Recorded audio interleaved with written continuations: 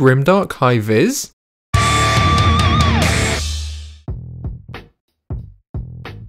Welcome back to Lizard of Doom. I'm Max. I had one evening this week to film. One. And I wanted to get all of my Chaos Knight armour done. That's the armour panels, is what I'm after in this one evening this week, because that's all the time I've got. I didn't start filming till about 6pm, so that has cut it very short for this week. So speed painting is definitely my only option to keep this project moving. In this video, I'm going to show you how to turn this into this.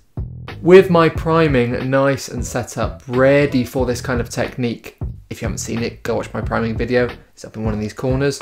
I am in a good position to get some colour down. So help out this growing channel, hit that subscribe button, give us some little comments and, and likes down there. Let me know what your favourite speed tainting? Speed tainting? Let me know what your favourite speed painting technique is. And let's get into it.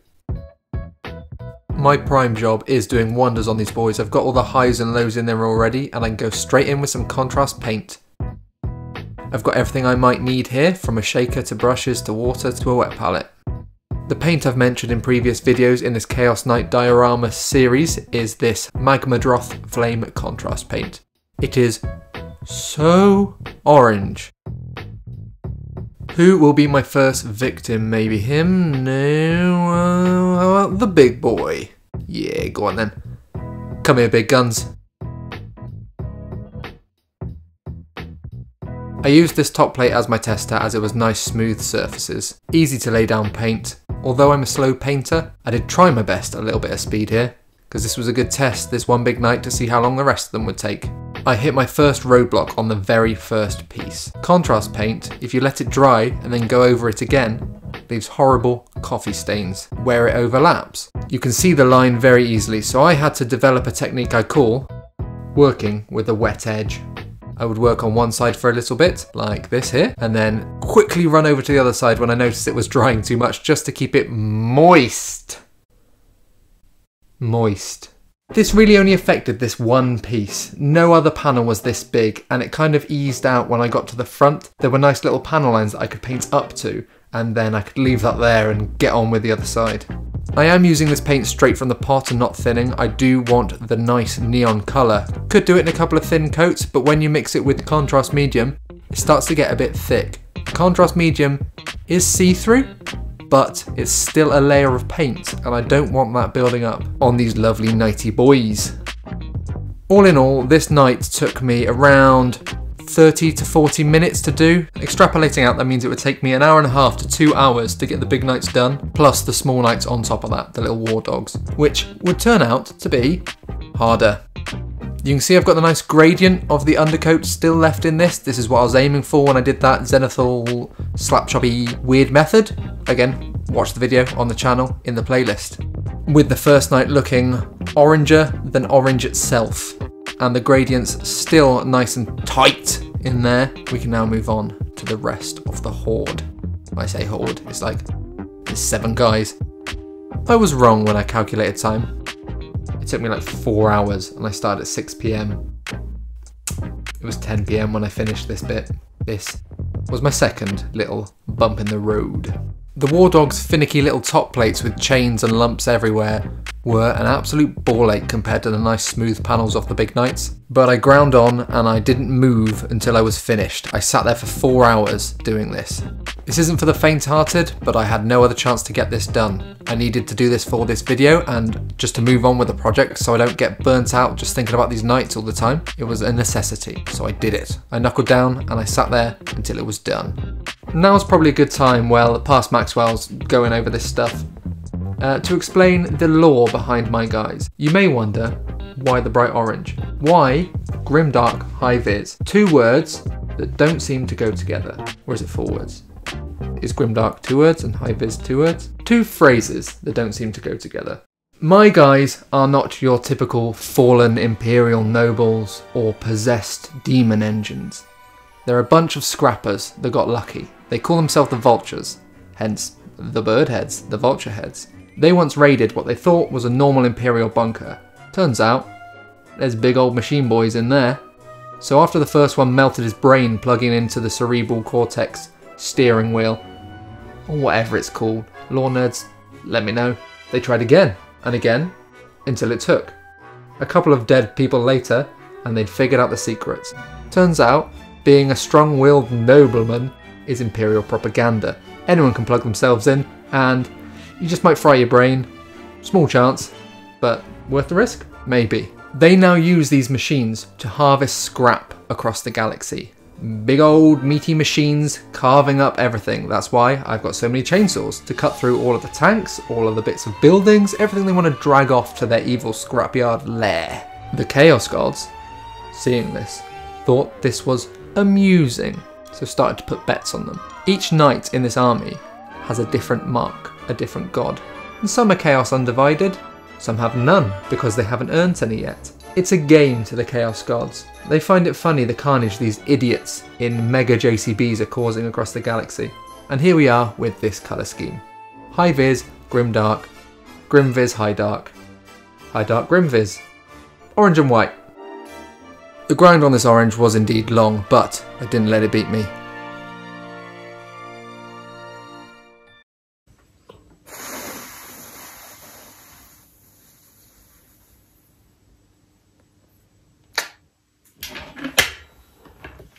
Side note, colour of this water. Kind of tasty, kind of deadly.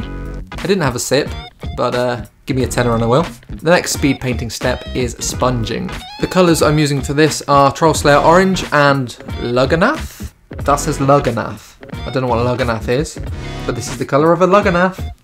And I did plan on using some Pro Acryl Silvers to get the metallic showing through, but I decided to save that for the next time, because I am speed painting, and this layer also needs to go on other areas, so I might as well do that all at the same time. I then honed my tools, by tools I mean spare bit of packaging, into a shape I found appealing for this kind of work, a thin edge with a large handle to keep control. I dipped a little bit on my wet palette. Wet palette not necessary, I just was worried that I wouldn't get this done tonight so I could save the paint if I needed to. A dip, dip, dip on here, making sure I get that nice little straight edge on the end of the sponge there. And a dab, dab, dab on here. At this point, I really thought I'd fucked up. But I pressed on, like a moron. I just kept going. Every model seems to enter an ugly stage. A stage where you're not sure if you should turn back now or keep going on but have faith in the process, my friend, and you will find the beauty in your models. Sometimes this big tip here wasn't doing it for me, so I had to switch for a thinner, skinnier model to get in between all the little pieces, like these big metal spikes. With a smaller bit like this, you could fit in all the nooks and crannies. On the smaller war dogs later, I did end up using a tiny little bit of sponge with my lady-shaped tweezers to get in the really, really small areas. This is what it looks like, this step finished. Like I say, I was doubting myself here. Have I just messed up my entire project for the week? Have I messed up the entire project in general? And I just kept going. Too late now. Keep going. I then gingerly applied the Lugganath orange. Still don't know if I'm saying that right. And then I ended up going a little bit bonkers with it. I liked how this was starting to look now. I thought I'd taken a turn in the right direction this time. I covered a lot of the middle of the area that I'd put the previous orange on to kind of create that heightening of colour and a really worn effect in the middle, like this was heavy machinery that had been used and bashed about. The sponging of the orange was another lengthy process. This took about an hour and a half, so now I'm five and a half hours in. 11.30pm, on a school night. I was trying to be quite careful here. Any bits of the metal I did end up hitting, because there were a few of them, are going to be where the weathering is going. I've got a nice verdigris plan for the brass, and that's going to cover up any little speckles I've got in the wrong places. I toiled and toiled and toiled until my posture was worse than a bent over question mark. I'd been sat in this chair for five and a half hours now. Maybe if I was just doing one knight this would be speed painting, but I'm doing a whole army, like the main colour on a whole army with everything nice and kind of chipped, weathered. I don't know what you call this. I don't want to call it weathering. I'm going to do a whole weathering video on these guys in the near future. Maybe two or three from now. The next one is probably going to be the fine details. The je ne sais quoi of these models. Am I using that right? I don't know what it means. Me neither. J- How'd you spell it? J. J. I typed that wrong. You put in? you. Indefinable elusive quality. Especially in pleasing one. She has a certain je ne sais quoi. the je ne sais quoi of these models. I was becoming more and more happy with these models as they started to exit their ugly teenage years. And I'm trying to do a voiceover here. I can say that, it's my channel. Did you not have ugly teenagers? I know I did. Believe it or not, but this is better. This is better. I've been shouting quite a lot and I'm quite close to the microphone. Sorry. I was nervous about what was to come though, and how much I should do. Is less more when it comes to hazard stripes? But with high vis on the brain, I decided to go for quite a bloody lot, to be honest. The weathering looked nice, and the challenge was to match the light areas of the orange with light areas of white without being able to see them. I ordered artist's masking tape, that's very hard to say, from Amazon, and it came in four different sizes Daddy Bear, Mummy Bear, Baby Bear, and Fetus Bear. I didn't use uh, Daddy or Fetus, so this size comparison that I filmed uh, and am now voicing over is a bit useless. I used the two middle ones, Mummy and Baby. The shoulder pad complete, I decided on a thickness. Nope, not Fetus. Some say fetus. I can, I, I can say Fetus! you can't say Mummy da- bear, daddy bear, baby bear, fetus bear. I can say say it sounds ridiculous. I can say. You're gonna think you lost your mind. I have. I have lost my mind. fetus bear. Uh, yes, I said fetus bear. Can I? Do you need to leave, or can, or can, or can I keep recording? No, not fetus bear, not baby bear, but mummy bear. That seemed to be the right size to me for the hazard stripes on a shoulder pad. I affixed a stripe at a random angle that I thought might be alright, and then I ripped the rest off and proceeded to stick it to the palm of my hand. This was for one purpose only, not because I'd lost my mind and it was getting very late at night, but to remove most of the stick from the underside and use it as a guide piece of tape. This would then be put against the previous bit of tape and used to measure out where the next piece of tape should go and keep the angle consistent and the same. After the next piece of tape had been applied, I would remove the guide strip, move it up, and then keep going in this fashion. Some bits were a bit finicky, like around these metal spikes, and other bits on the rest of the army, but I powered on and we got through it. And with that, it was time to possibly ruin the model I just started liking again. I used Citadel Wraithbone as the base for these high-vis stripes. I wanted an off-white colour and this offered a kind of warm option that wasn't a grey white, to keep in the same kind of region as the warm orange itself so it didn't look too outlandish. Tiny bit of sponge with a nice flat edge so I could get in all the, the inconvenient areas. I was really hoping that this paint didn't just go underneath the masking tape. That would have been a real big issue. I used a paintbrush to neaten up the edges and make sure that I wasn't sponging over too much of the metal because I didn't want to have to cover it all in weathering effects at a later date.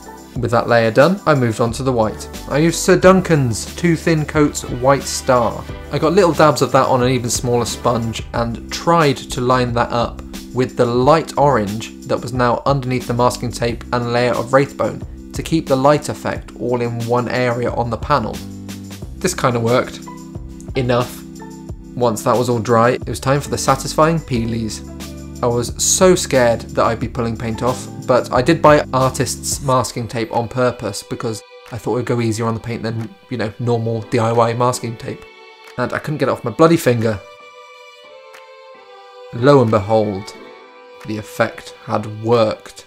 I was slightly amazed that I hadn't messed it up at all and started to really like this paint job. I'd moved from thinking I'd really, really messed it up with the first sponging of orange to now knowing that this was how I wanted my whole army to look.